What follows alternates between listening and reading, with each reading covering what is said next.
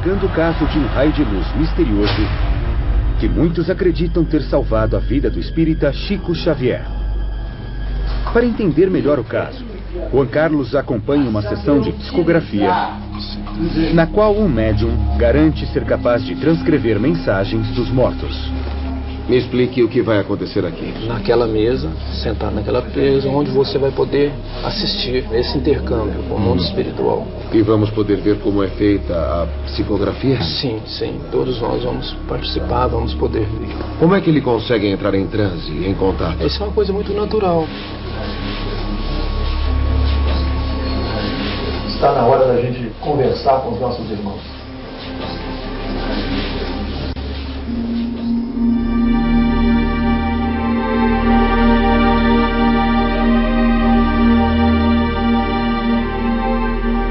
O médium Carlos escreve em silêncio durante duas horas.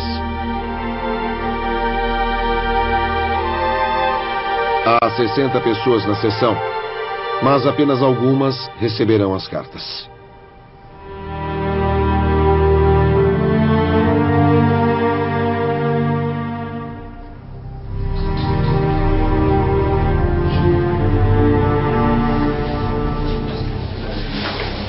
Sessão de psicografia termina. O local fica em silêncio quando Carlos começa a ler a primeira carta. Marcos, querido esposo, estou aqui com a mãezinha Hélia e com a nossa Andréia. Estamos bem, aos poucos tenho compreendido o que seja a vida além da morte. Tenho, quanto possível, visitado a querida Natália na Irlanda, onde ela se encontra realizando intercâmbio. Com todo o meu coração e saudade, sempre a esposa e a mãe agradecida, Cláudia Nasta, Tanuri Gomes. Querida mãezinha Ivone e papai Ivo, estou aqui e estou bem. Quando ele pensa em mim, aproveito e estabeleço conexão mental com ele. Sempre o filho e o irmão que não os esquece, Rodrigo Múrcia Moraes. Querida Françoise, querida filha, uma vez mais estou aqui, preocupada com a sua saúde, filha, de redução do estômago. Ante a ideia de talvez ser cirurgiada, você adquiriu um sobrepeso que colocará o êxito da cirurgia em risco. Sem emagrecer 10 quilos, pelo menos, você não deve ir para a cirurgia. Você me desculpe tratar deste assunto, mas na condição de sua mãe eu não poderia deixar passar a oportunidade. Sou a mãe sempre presente, sempre muito grata, Marlene Ferreira.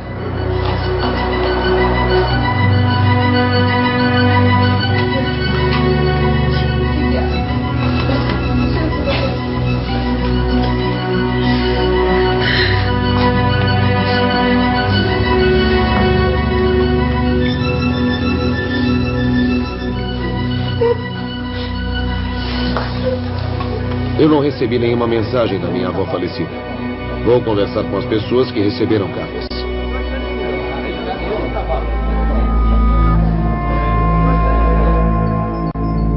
O que nós recebemos aqui é como o, o remédio na nossa vida. Quem foi que te escreveu, Françoise? Minha mãe, Marlene Ferreira. Isso aqui vai direcionar hoje, essa carta, a minha vida. Então, para mim, é um caminho. É mais um caminho que eu tenho que seguir. Marcos, você recebeu uma carta. O Carlos já sabia alguma coisa da vida da sua esposa ou da sua filha? O Carlos sabe o, que você passa para ele é o nome e o meu nome. Somente isso. Existem coisas aqui que é coisas pessoais, não é? São confiáveis. Eu acredito na vida após morte. O, nós somos eternos. E acredito também que um dia eu vou encontrar com a minha esposa.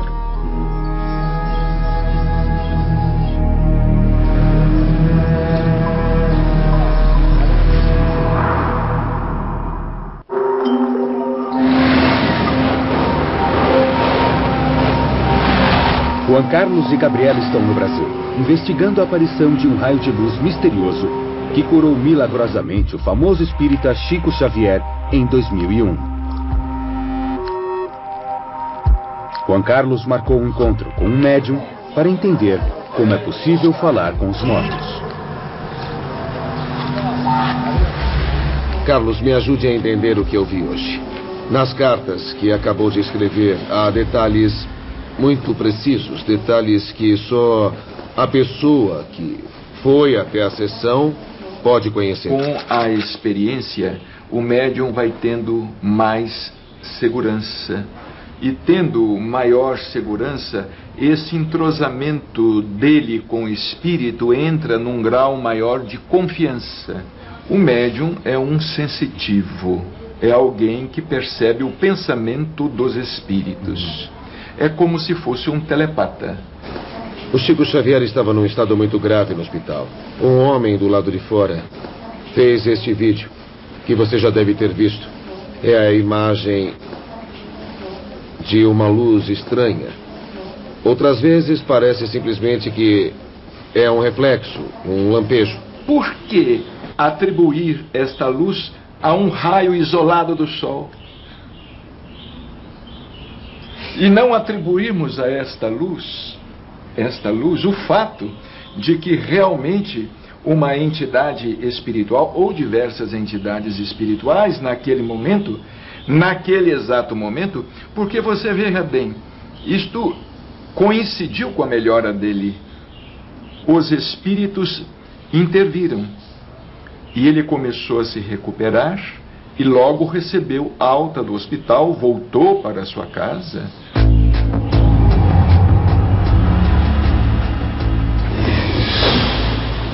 Estive com o físico e ele me explicou por meio de uma reprodução em escala o que pode ter acontecido. E é bem simples. Um objeto em movimento reflete os raios do sol. E o fotógrafo que estava lá captou com a lente. Bom, a explicação científica foi feita, parece razoável e é mais um passo. E você, como foi? Bom, eu fui a minha primeira sessão de espiritismo. O que sentiu quando estava lá? Que impressão teve? Na verdade, eu não sei se eu consigo pensar nisso com muita clareza, sabe? Tem coisas que eu não posso explicar. E outras que. que eu não creio. Carlos Bacelli mencionou uma família, Muscat. Eles receberam 50 cartas. 50? 50. Seria bom conversar com essa família. Eu gostaria de falar com eles para saber o que vivenciaram através dessas cartas. Tá certo.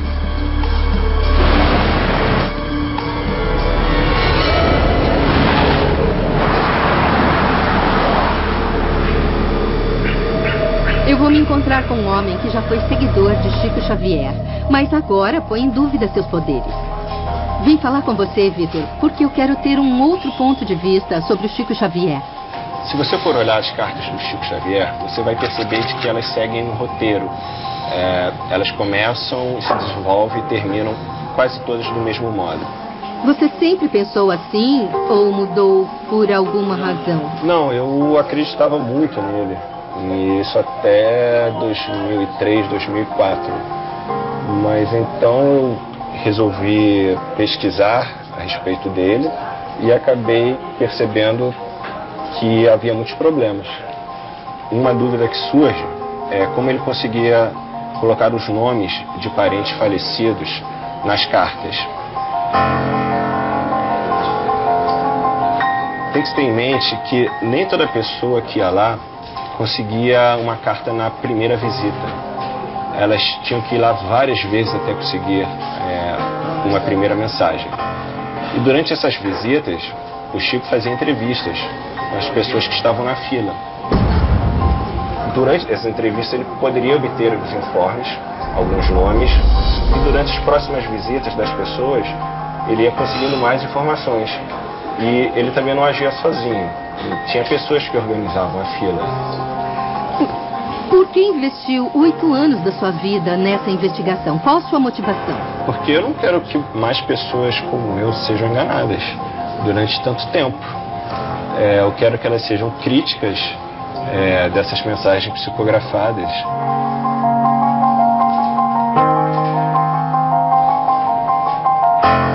Chico tinha uma frase que dizia: É melhor a mentira que consola do que a verdade que fere. Eu acho o contrário. Eu acho que eu prefiro a verdade independente da dor que ela provoque. É melhor do que viver numa ilusão, essa é a minha postura. Tinha uma frase que dizia: É melhor a mentira que consola do que a verdade que fere. Eu acho o contrário. Eu acho que eu prefiro a verdade independente da dor que ela provoque. É melhor do que viver numa ilusão, essa é a minha postura. Chico tinha uma frase que dizia: É melhor a mentira que consola do que a verdade que fere. Eu acho o contrário. Eu acho que eu prefiro a verdade independente da dor que ela provoque. É melhor do que viver numa ilusão, essa é a minha postura. Quando a verdade vier à tona, vai ser um choque muito grande, como foi para mim.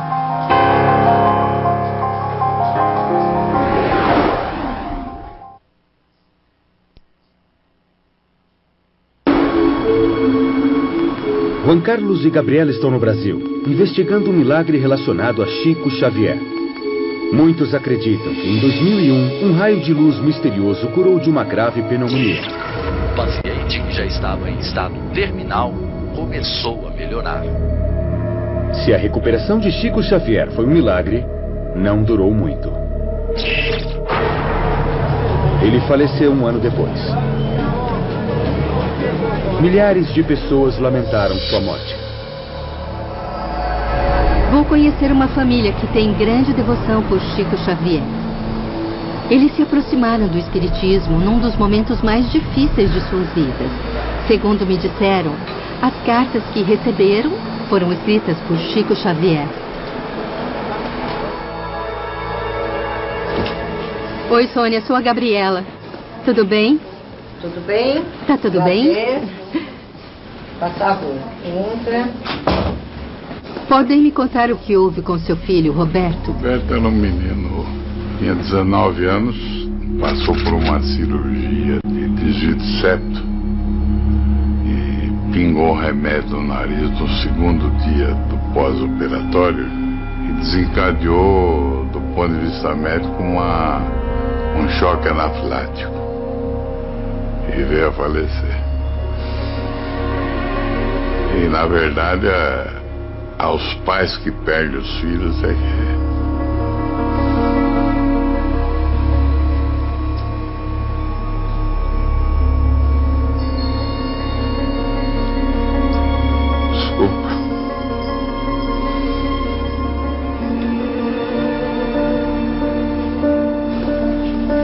Posso imaginar como é grande a dor de perder um filho.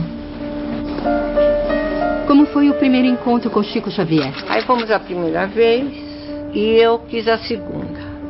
E eu continuei indo, fui mais cinco vezes. E não recebia nada.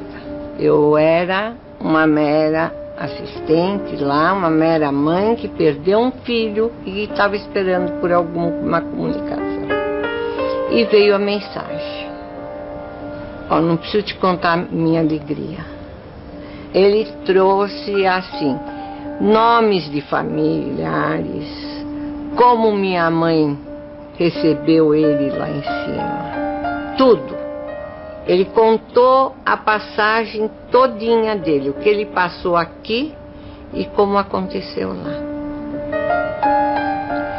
E não teve realmente nenhuma dúvida que a carta, a, a carta psicografada era do Roberto.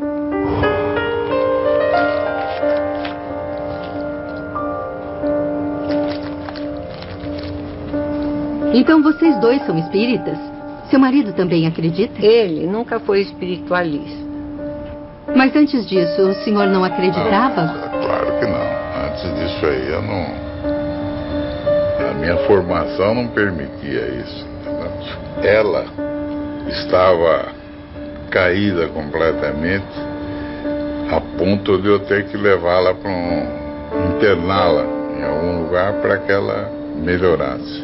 Ela foi para lá. Eu disse: Você recebeu mensagem. E ela me disse isso. Isso foi um, um início para que eu começasse a não duvidar mais das coisas. Foi para mim uma, uma parte muito essencial. Explicação, eu não sei como dar. Faz bem para você, faz bem para sua família, tá tudo bom.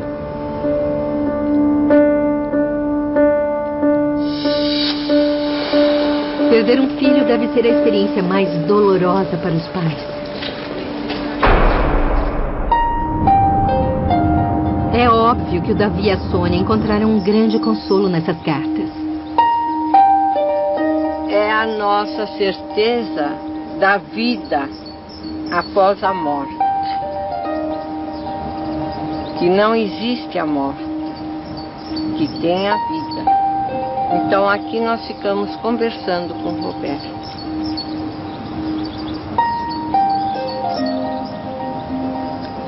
Dezenove anos de amor. E temos certeza que aqui estamos, mas ele mesmo está no céu.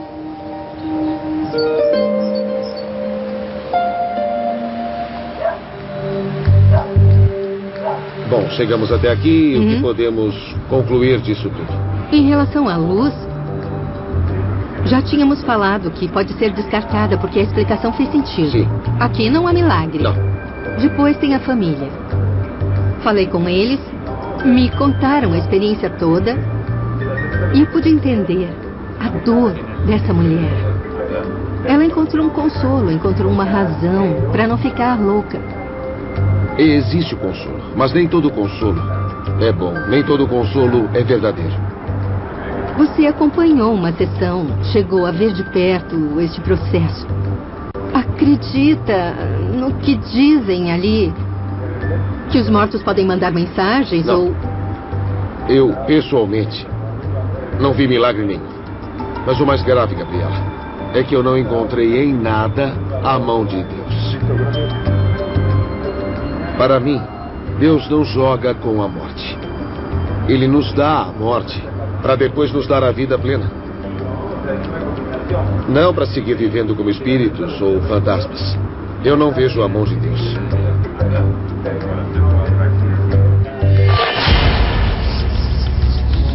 A seguir, é difícil concluir que há uma conspiração. Podem tirar o som de lá, mas Deus não joga com a morte. Deus não joga com a morte.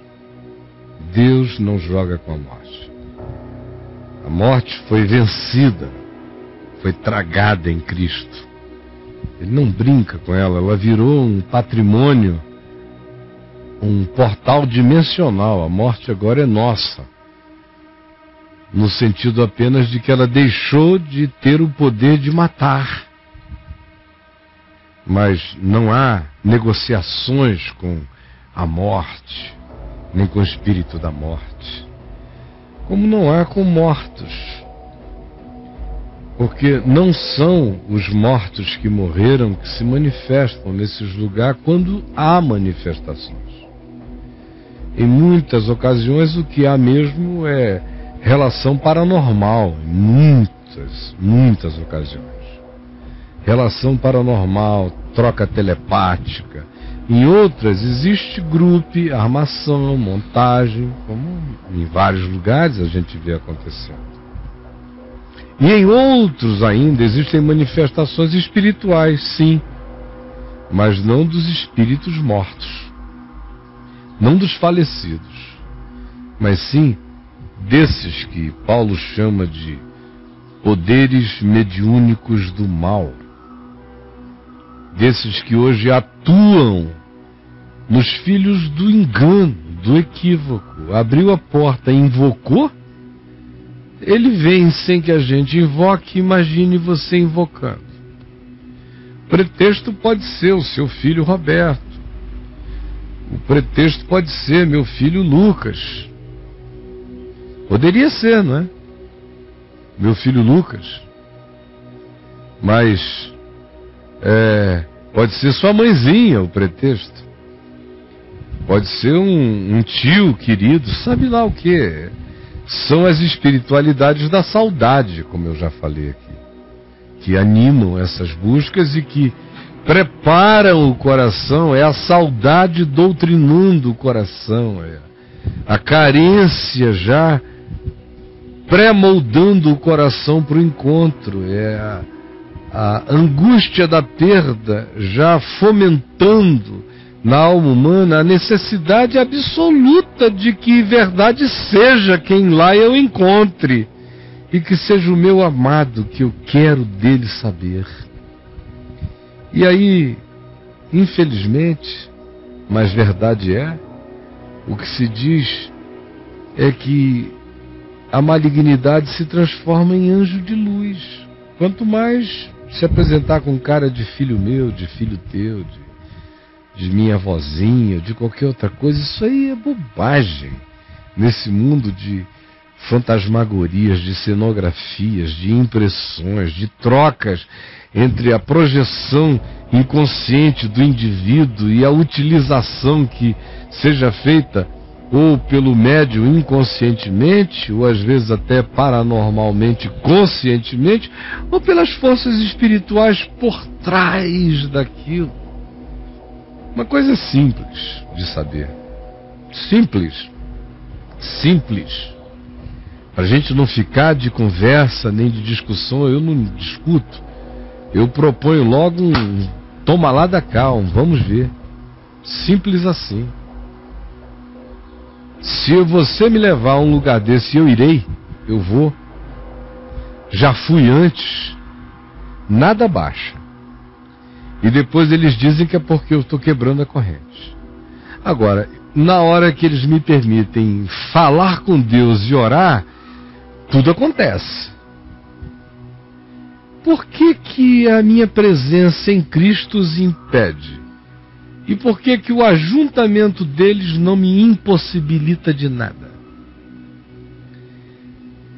Porque também que quando aqueles espíritos estão se manifestando, se você chegar e os confrontar e disser em nome de Jesus, que se manifestou em carne, que é Deus encarnado,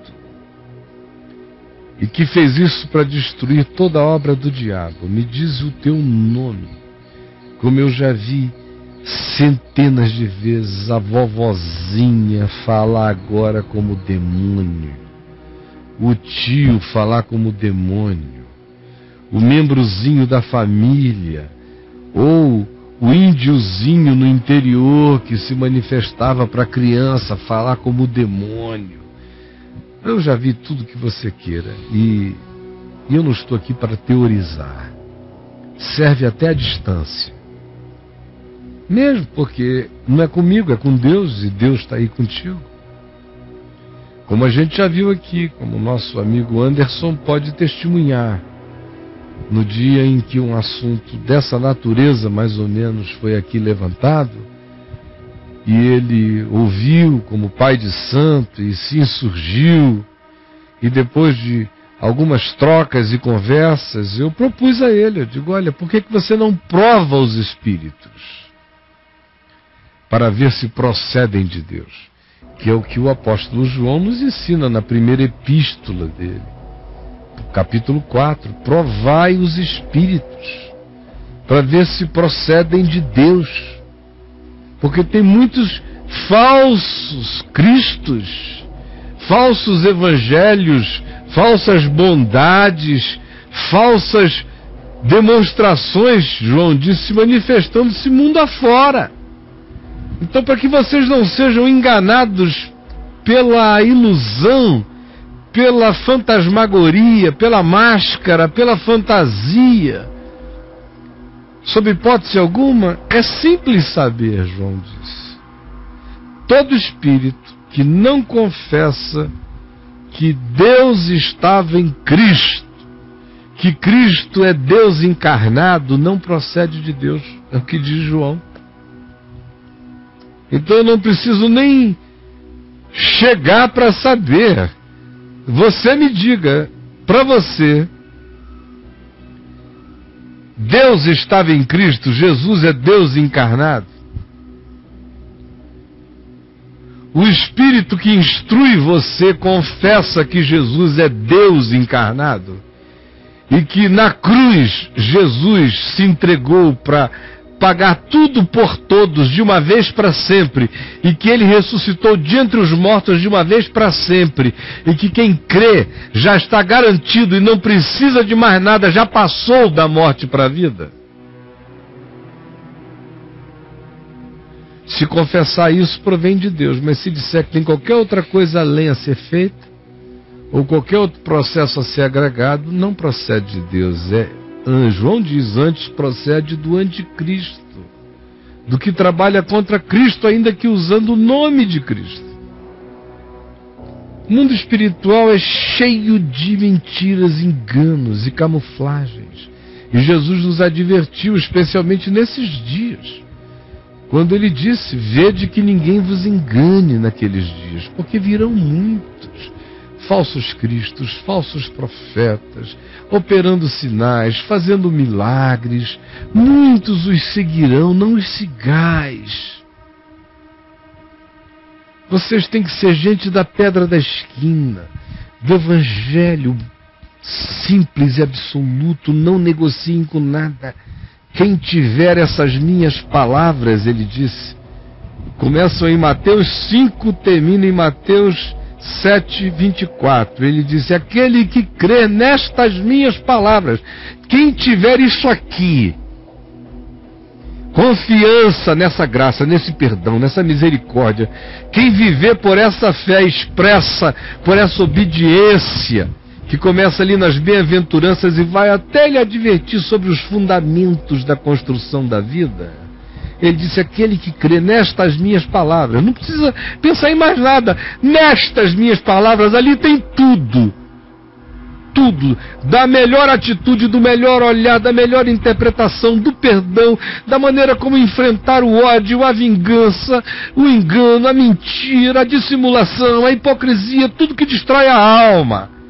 Aquele que erigir a sua vida sobre estas minhas palavras, vá ler lá Mateus capítulo 5, diz, do capítulo 5 ao final do capítulo 7. Será como um homem que construiu a sua casa sobre a rocha. Podem vir todas as intempéries e tempestades, ele não vacilará. Agora, construa sobre qualquer outra bonita filosofia de vida que você ache legal, ou que se comprove através de sinais.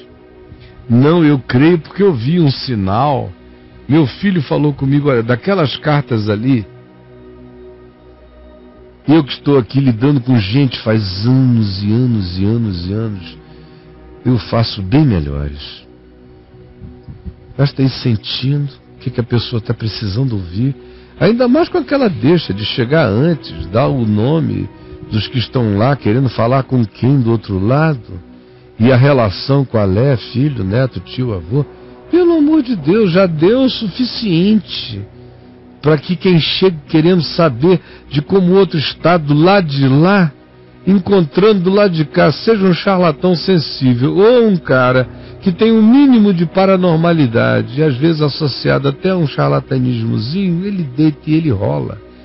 Se ele for consciente disso, fará isso com maldade. Se não for consciente disso, fará isso no engano.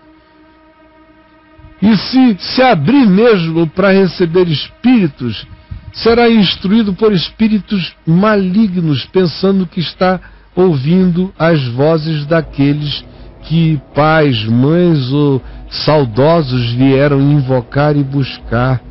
É gente enganando e sendo enganada, não necessariamente por causa de nenhuma maldade. Embora muitas vezes haja aqueles que façam isto também por maldade.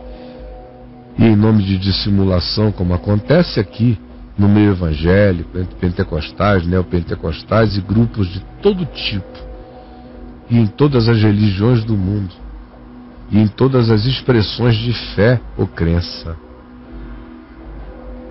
Umas estão mais corrompidas do que outras, mas todas se corrompem.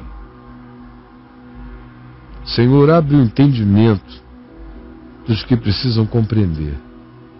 É tudo que eu te peço, em nome de Jesus. Amém. E aí, Braulinho? Muito bom, Caião.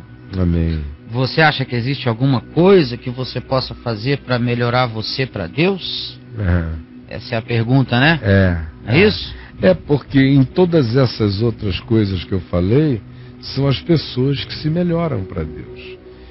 E no ambiente evangélico, também são as pessoas que se melhoram para Deus. Só um grupo muito pequeno é que crê mesmo no Evangelho da graça e o pratica, segundo os apóstolos. A maioria se melhora para Deus. Todo mundo aí. Ou faz barganhas.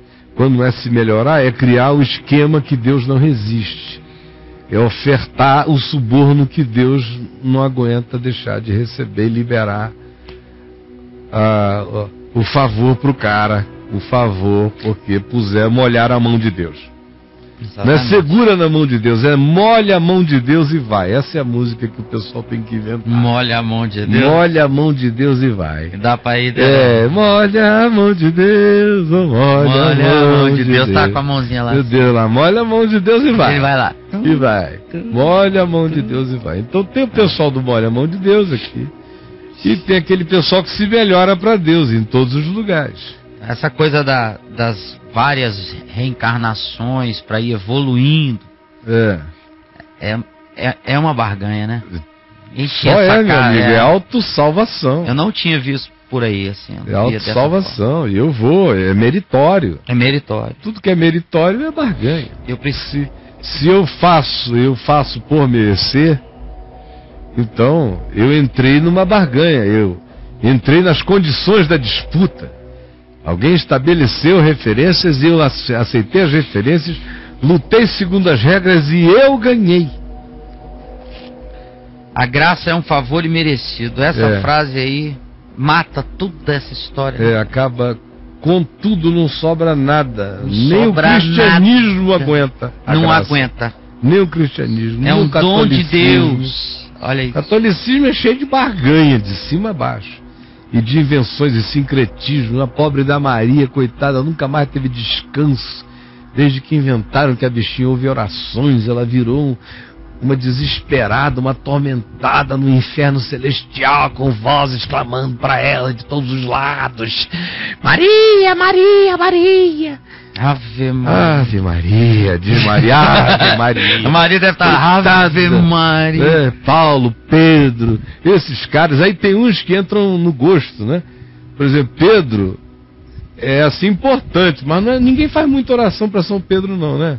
Hum? Nem para Paulo. Paulo é importante, é um teólogo, mas o pessoal, o pessoal tem também aqueles santos estivadores, né? Benedito. Tem, tem, tem o, o, Os santos pegadores. Causas impossíveis lá que é fantástico. É, aí expedito, são esses expedito. caras que são. É, o expedito. Expedito tá enrolado. Já tá dito, o bicho é expedito mesmo.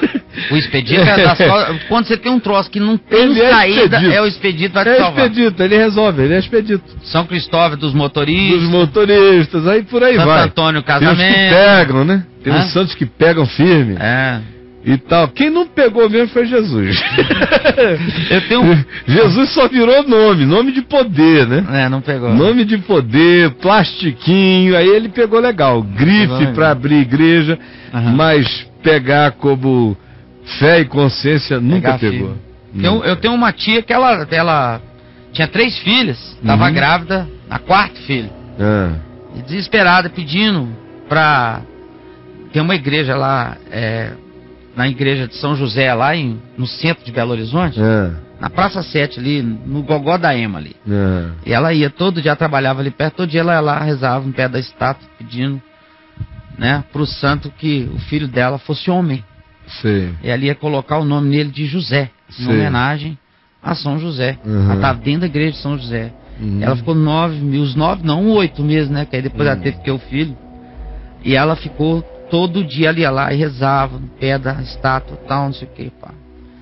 De repente, Fidel nasce. Ah, Era um menino, um menino. graças a Deus. né? Ah. Aí ela foi lá agradecer. Quando ela olhou assim, era Santo Antônio, cara. Ah, rapaz, não era o José? Não, ela botou o nome do menino de José Antônio. é maravilhoso. Minha tia Marlene. Beijão. Que eu amo.